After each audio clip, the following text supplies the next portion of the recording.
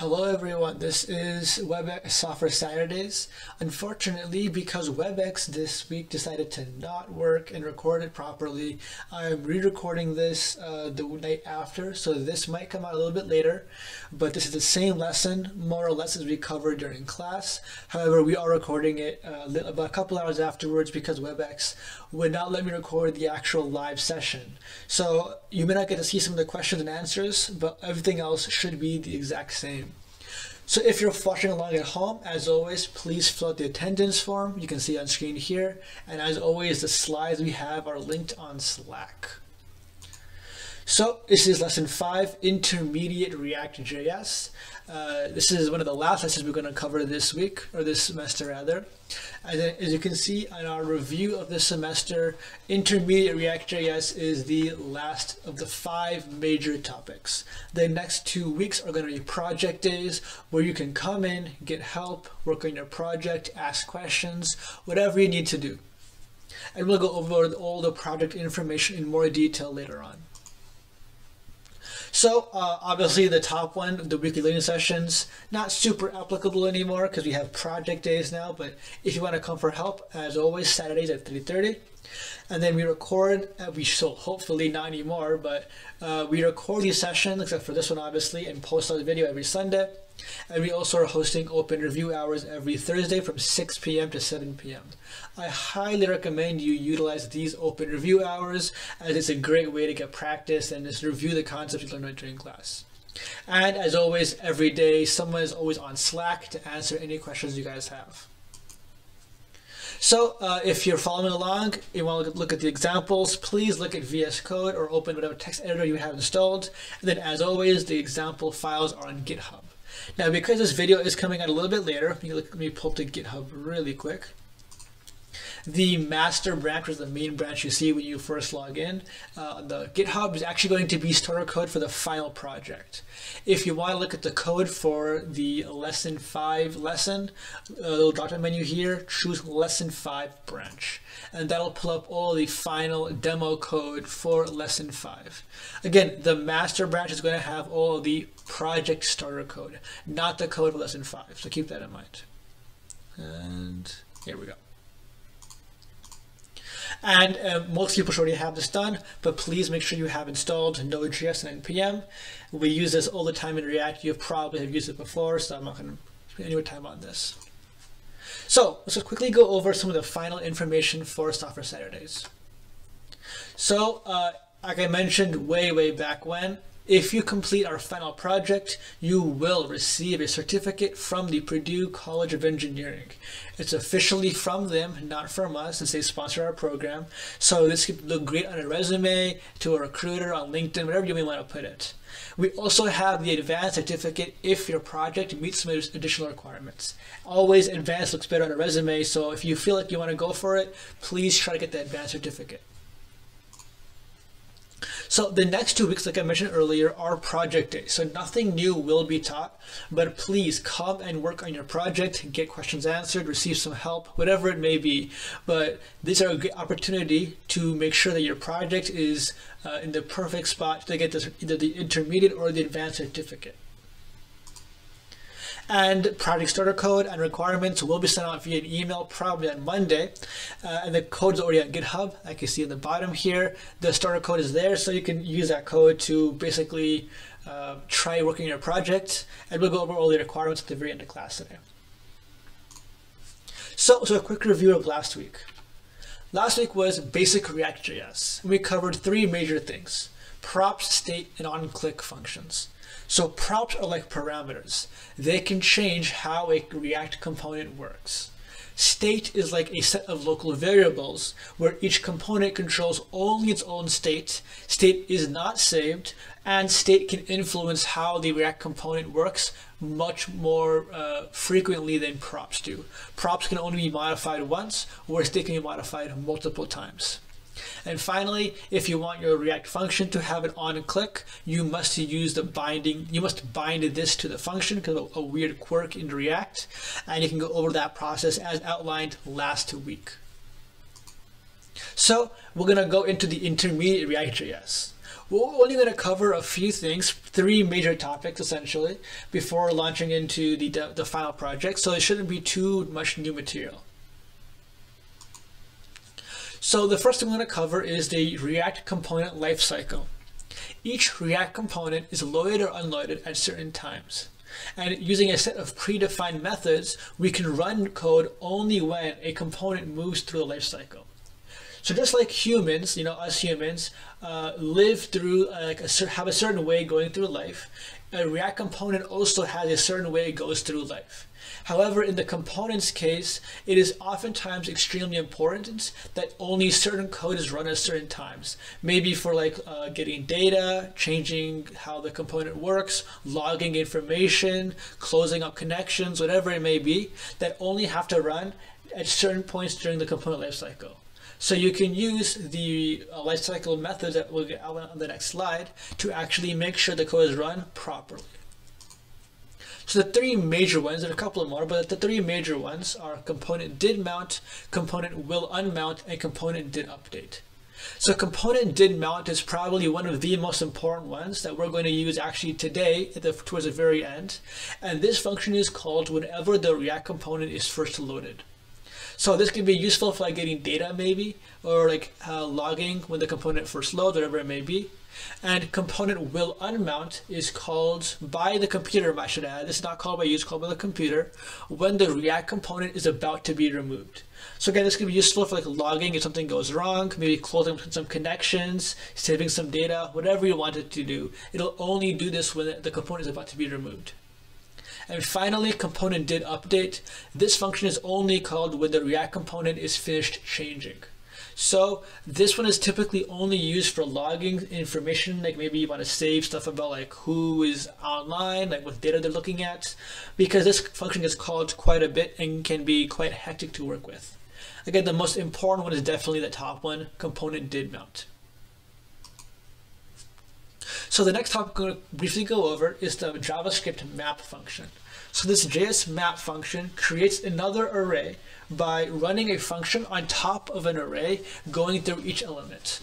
It's kind of similar to a lambda or list comprehension in Python if you've used that before. Uh, and it's really powerful because it allows us to create arrays that are based off of other arrays. So the syntax is really simple, just a map function, your input array, your what's called I call it the iteration variable, but really it's more like the element we're currently working with, the function, and then the output array. So we can see here, let map output. Here's our output array, here's our input array, and then here's a dot map function. What we're doing in this function here is we're taking every element in the little parentheses here element, and we're mapping it, or this little arrow here, to this element times two which means that uh, every element is going to be doubled and then saved in a new array called map output. Now it's important to note here this little arrow symbol, with this, it is, is an equal sign and a, a greater than or equal, greater than sign, is kind of represents like an arrow, right? Showing how the element is being changed into something else as defined by this right here. This little, I call a function, but this little statement right here. And you're going to see that this is a very powerful command. So let's look at demo really quick. So I have VS Code open. Uh, the first demo we're going to look at is this HTML demo. So this is one of the, this is the if we haven't we haven't seen HTML in quite a while, but this is a plain old HTML demo that you know has a, here's a basic HTML page, and if you look at the JS the JavaScript file, it's literally just going to be a array input array mapping it using two different methods, then logging the outputs. So we have this array here, numbers 1, 2, 3, 4, and 5. And then we have two outputs, map output 1 and map output 2. So map output 1 is a result of mapping each element of the numbers array. So again, here's the output, the input, the map, and then here is the element we're kind of working with. And we're mapping it using this little arrow here to this, as we have the slides, element star 2. So this again is almost exact same as we had in this slide to show you how you can double each element of array, assuming the element is a number. The second one's a little bit more complicated. Uh, essentially, instead of having a single line like we had before, we actually are passing in a whole function. So again, in JavaScript, functions are defined by curly braces, which is defined this little block right here is a little curly braces, actually. all the way there, all the way down there. And this function is actually a very basic if statement. So it'll take each element and apply the function defined by these curly braces to it. The function here is if the element, which is again defined from each element of the number array, is mod 2 equal equal 1. So mod 2 equal equal 1 is actually a programming trick that's very common if you ever programmed before, but it's a way to tell if a number is even or odd. Remember, modulus uh, gives us the remainder of a number. Uh, the remainder of this number when divided by the one on the right. So if any number divided by 2 gives you a remainder, it cannot be even, since numbers that are even are inherently divisible by 2. So since the remainder is 1, it has to be odd. So what basically saying is if the number is odd, return the element, so store the element back in the map output 1. If it's even though, store the number 0. So what will happen is our array will go from 1, 2, 3, 4, 5, 2, one, zero, three, zero, five, because two and four are both even. And so if we open up our PowerPoint here and look at the console output, so again F12 in Firefox, or right click and inspect element, and go to our console, you'll see the top is our array, the bottom is a doubling array, which indeed is the doubling element, you know, 2, 4, 6, 8, 10. And the bottom is actually the uh, weird little even odd thing we did. Again, 1, 0, 3, 0, 5. Exactly like we did last week. Or in this in the code, my bad, not last week. So that was the basics of demo 1. Now, the other demo 1 we have here is, you can see here in my app.js file, I have a demo 1 program set up. And if we go to demo one, you will notice that this was uh, testing out the different methods available to us for component lifecycle. So we, we initialize a state with a step of one, just to show what step process we're on in the uh, in the lifecycle process. And for each of these three major methods, we say if it did mount, we uh, if, it, if it mounts, we say we have mounted, we step number whatever, increment the step. If we update, we uh, we print it out and we increment the step. And if we unmount, same thing. And if you render out, we just render out the p tag saying, oh, here's some rendering and this is step number, whatever. Now, please note, see these two lines. Please never, ever, ever set the state from component did update. What will happen is your code will break. It'll, it'll create a code called an endless update stack because what's going to happen is the component will update so it'll change the state, so it'll update the component, and then change the state, then update the component, and then change the state over and over and over again until the React code crashes. So never, ever, ever set state from an update, from a, component did update function. That's why I said component did update is typically only used for logging or basic storing of information, not for anything super important. So if we go to our uh, code again on here, we look at here, we can open up our console again and we can see that the component uh, mounting is step one, the component updating is step two, and the component rendering is step three. Now, it's important to note that there is no step four here, which is the unmounting, because this, this, uh, this component never disappears. But if we were to remove it, maybe having a button that removed it, you would see a step four saying this component is about to unmount. So that is demo number one. Now this is a, a shorter one, a little short little side note to add on to the map topic. But you can actually use the map function to create a list of JSX elements to display uh, to the actual screen. And you will definitely see why we want to know this in a few slides when it becomes much more relevant.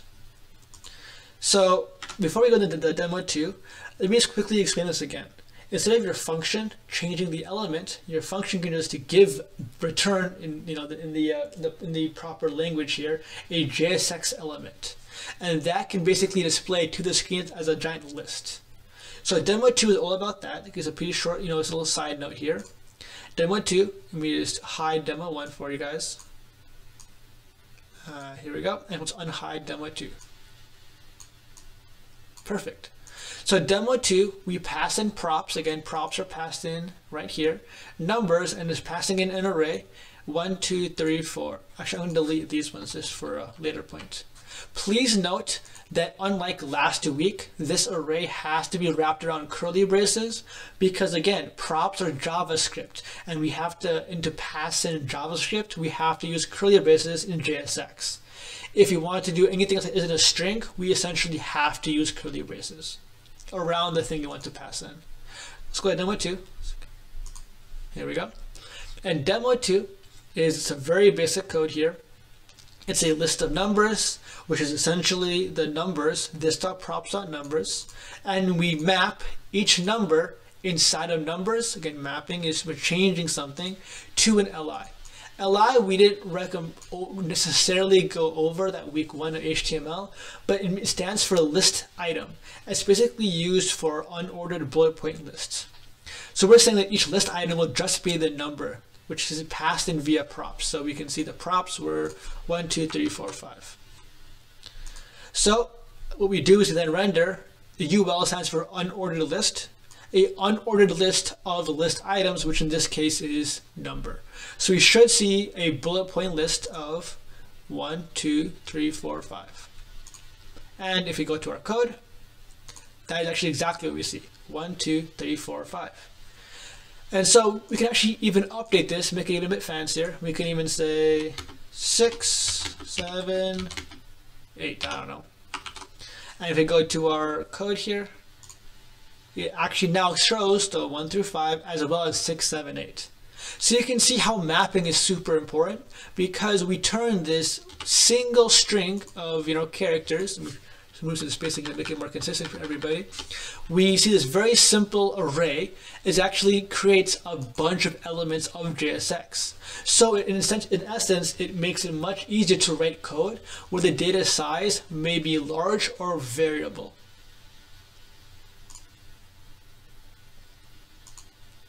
Cool. So that's time for a checkpoint. Now, obviously, we're not going to spend too much time doing checkpoints since, you know, it's a recording. But if you want to follow along, pause the video here. Your checkpoint is to try to make a map for React components. Almost basically the exact same way we did mapping in demo number two. If you want to choose different JSX elements, you can also choose, for example, a div instead of a UL tag and a P tag instead of a uh, LI tag. But let's basically try writing the code from scratch to, given a set of input data, map that input data to a bunch of JSX elements. Okay, I hope everyone had a chance to work on that checkpoint. Again, pause it if you want to spend some more time. But we're going to move on to the next little topic here. The next topic is called APIs. So APIs are used a lot. They stand for Application Programming Interface, and they are used to send data to or from our code and another server. They're used everywhere on the web. Everything is an API somewhere from your Amazon shopping cart to your Instagram feed to your Brightspace login to you name it. There's guaranteed an API somewhere transferring data from, again, from someone's code to some other server on the web. So they're obviously extremely useful and they're actually important for our final project. So web-based APIs have standardized on using what's called JSON or JavaScript object notation to send data using key value pairs.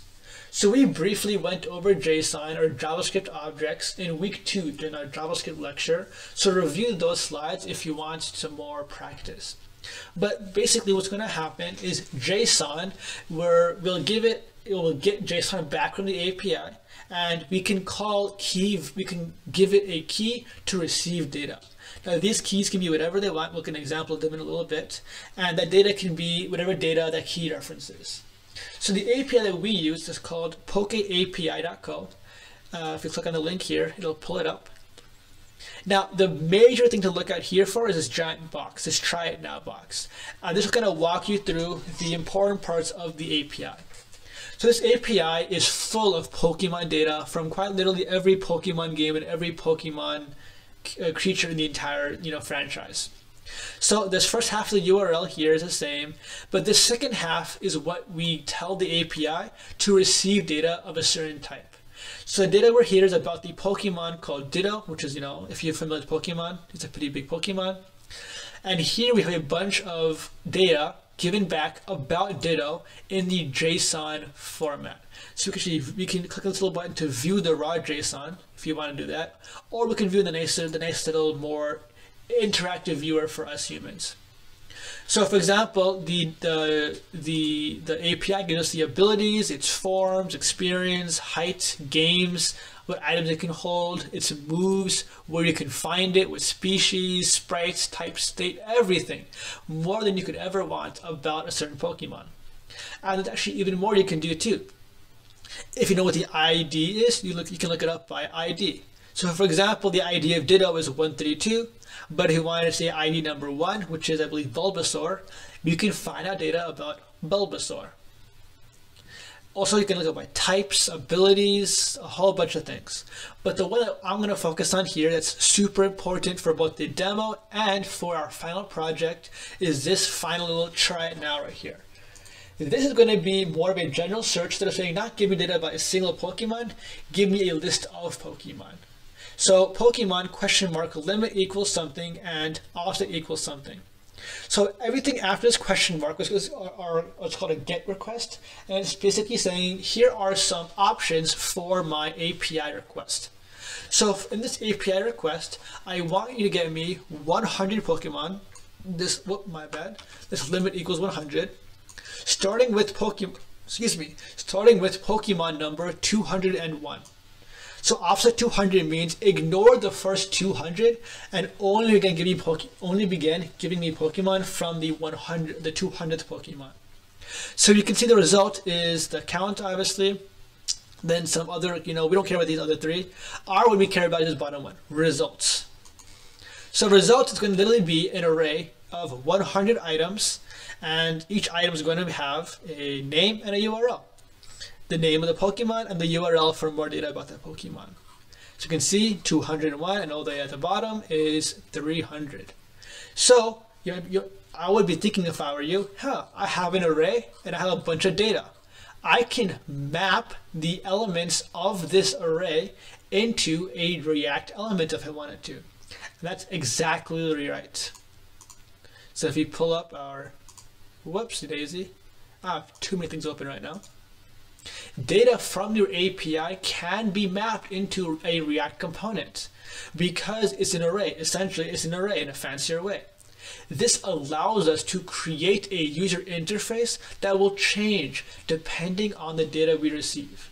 And that is why React is so powerful because it can completely change how it looks or even change how much of it you know you have on screen depending on what kind and how much data you get from an API.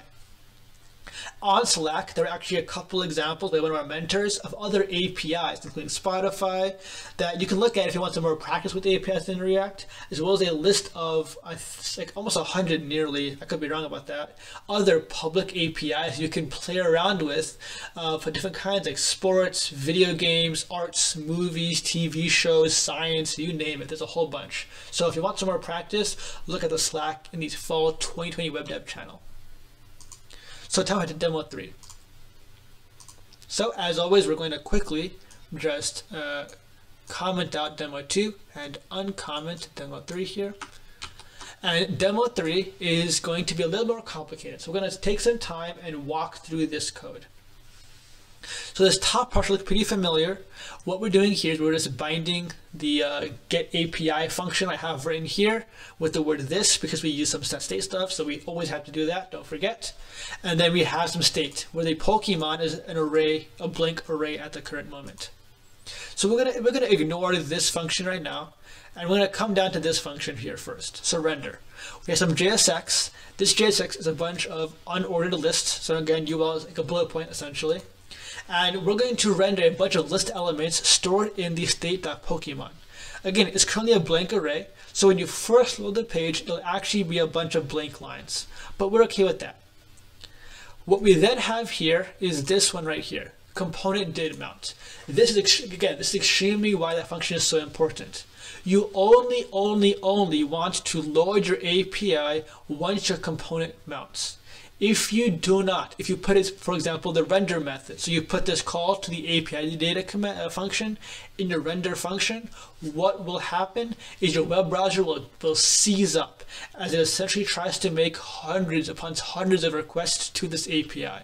So your, your browser will basically you know become super laggy, might become unresponsive, and might even crash. So make sure you only call your data once and you'll only call it once the data first when the data needs to be uh, when the data needs to be used, not even not before that, not after that. The safest place to put this is in component did mount. So in this function here, so you might notice this async keyword before this function. Async just means that this function will run in the background of everything else to make sure that the rest of your code can actually run uh, like load the page, for example, and not wait for your function to finish. This is especially good if you're on a, a slow network connection, so that your page won't basically freeze until the data finishes, because it could take a while for the data to load properly. Now, these first three lines, we will always give you in every starter code we use for both lesson five and for the final project, because we do not expect you to know the intricacies of API calling. But the basics are we have the URL. So again, this URL is getting 10 Pokemon with limit equals 10, starting with the zeroth Pokemon. And then gets, the, gets, gets the data from the URL and turns it into a JSON object we can use everywhere else. This bottom bit looks should look pretty familiar. What it does is it takes the response of the submit response in the JSON format and again, remember, it's a JSON object where one of the keys is results, and results is an array. So we take that array, and because it's an array, we can use map. So we map each item of the array, we change it into a list element to be used in our bullet point list down here. Now this list element is going to have item.name colon find more at then the URL. Because remember, that array was full of JSON objects that stored the name and the URL of each Pokemon. We then set the set the state, so we say Pokemon equals response Pokemon, just like this, so that when the data finishes loading, it'll be properly shown to the user. So if you open up our web browser here to see how our code works, ta-da, we have a list of 10 Pokemon, from all the way from Bulbasaur to Caterpie, with their name, colon, find more at, and then the URL where you can find more data about that Pokemon. And that is why this is such a powerful command. Because we can change those values to whatever we want. Like for example, maybe we want 20 Pokemon, starting with the 15th Pokemon. Whatever you want, it's not super important. But the React code will handle it, no matter what you give it. We could make it, for example, 15 if you wanted to, even 30, and it wouldn't care because it would just map it properly because map does not care how much or how little data you have. So that is why we use map and why React is again so powerful. So I hope that was a bit informative about some of the more advanced parts of React that you can definitely use in your, uh, the intermediate parts of React you can use in your final project. So as uh, if, you, if you aren't 100% aware, the final project is going to be a Pokedex style application using the Poke API where you have to show us some kind of Pokemon, like their names, their heights, their weights, their XP, their games, whatever you want to show, up to you. But you have to fulfill a few requirements. So again, there are two kinds of certificates, intermediate and advanced. So we'll go through the requirements right now for both of them the intermediate React uh, certificate, you must have the following. At least two components. These two components cannot be app.js or index.js. At least one component has to have state, and at least one component has to have props. And finally, you have to use at least one API call in your code. You might want to make two, but you have to have at least one. But I think for some of the other requirements, you might need to use two. Now, to also get the certificate, you also have to use choose two of these three options. The two are including some CSS with your components, adding a user interactive element like a button or a div. Remember, any HTML tag can have an on-click function, or loading images of each Pokemon. Now I think two of these, I think they're all pretty easy, but I think two of these are probably slightly easier than the other ones, but I think all three everyone here can probably do those. So I'm not worried about this at all. But if you're feeling a bit more advanced, we are also offering the advanced certificate.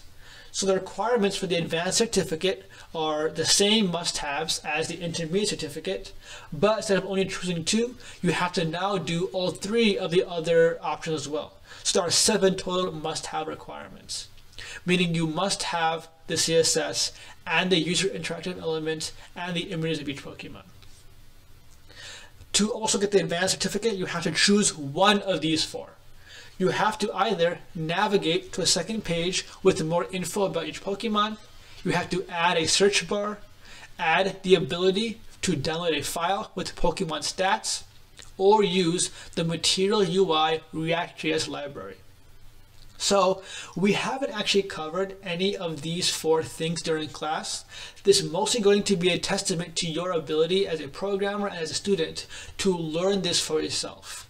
That's kind of why we kept it as the advanced material, so that if you're feeling confident and want to learn more about React, you know where to get help and get resources to get the final project. And as always, if you want some more help with this, we will walk you through all of these four things by, by you know, step by step. We won't do them for you. We won't give you code, but we will tell you where to look, how we get working with this, stuff like that. So if you want to go for the advanced one, the mentors and I are a great resource to get you looking at. So before we jump into checkpoint, I want to just go over some of the more final project stuff. I think I have it in here. So here's the document I'll send out. This is not it, by the way. This is the wrong document. Whoopsie daisy. I will send out a document. Again, the source code is on GitHub uh, with all this information for everybody about the final project. But essentially, the final project, if it wants to load for me really quick, is going to be like this. So we give a quick, a quick little uh, blurb about the project and the certificate program. All projects have to be given to us by November 7th. This is so we have enough time before finals and all you know before everyone has to start studying for exams to grade and deliver the certificates for everybody. If you do need more time though, please email us for help. We will most likely give you an extension if you have a good if you have a good reason. We have online work days on the 24th and the 30th of 31st of October, so please stop by if you want some help with that. And as always, you can get ideas or ask questions on Slack in the, in the fall 2020 web dev channel. To submit your project, just you know follow the instructions here, zip all the important files that we're going to need to create your project, and email it to me. And you can also view a, a, working example of the project on GitHub. I have here a link to my personal GitHub, but I have it hosted. Please note though, this, this is an optimized source code build, so you cannot view any of the original React components. So again, I also have on this document all of the other, all the requirements you're going to need, and I'll email this out with some more info about it probably on Monday. So again, here's the final code for the uh, final project. In the Pokedex app, I have the SRC folder like we always do. And uh, in the component folder, we give you two base files. The component template, like we do every time, and the API component, the API template. This is going to be the API code that you're going to want. You may want to modify uh, these couple lines here. Maybe you want them exactly the way you have them set up, but you will need for a fact these top lines, almost guaranteed. So wherever you see the word modify, please make sure you delete the comment, so this whole entire thing, and replace it with whatever you need for your code to function properly. Now it's time for a quick demo of the final project. Actually, I put my URL in wrong, haha. So again, my Hadi Ahmed 098 at .github.io slash Pokedex. And you can see here a working example of the advanced certificate project. Actually, actually, this project here you see will actually meet, if you were to code it yourself, all of the advanced certificate requirements. So it just has a little title here, a little bit, a little bit of the project, and a link to our website, plug, plug, plug. And each Pokemon card, which gives you the name, you know, a picture of the Pokemon, the height, the weight, and the base experience of each Pokemon. There's also a little load more button to load more Pokemon. So it defaults to 10. We can load in 10 more every single time. until your heart, you know, has seen enough Pokemon. At the very bottom, the very small little search box. So you can type in a search, like maybe say I'm gonna look up the word Piplup. Hit a little search, and it'll pull up the code, the co the Poke card, I call it, for Piplup. So it's you know its name, height, weight, and experience. And if you look up a Pokemon that doesn't exist, like say test, it'll give you no not found to show you that there was an error in the processing. So again, this is always publicly available. So if you want to, if you want to look at what a final should look like, uh, please look at our website. Look at my website. But again, not every feature you see here has to be implemented to receive the intermediate certificate.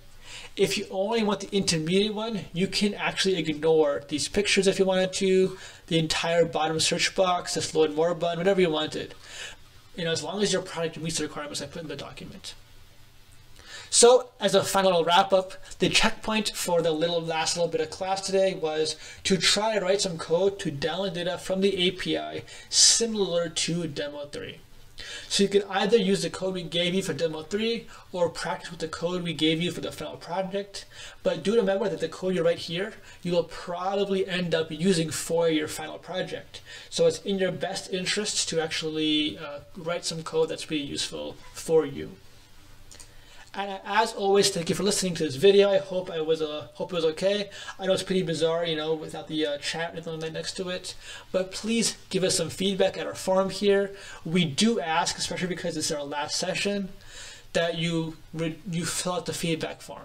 It takes about five seconds to fill out. It's completely anonymous, and we do use this to help us practice what we or fix what we can do better for next semester and what we can improve upon and keep doing for next learning units. Also, if you have any feedback about what we should do next time, also put it in the feedback form. We'd love that. We'd love to hear it.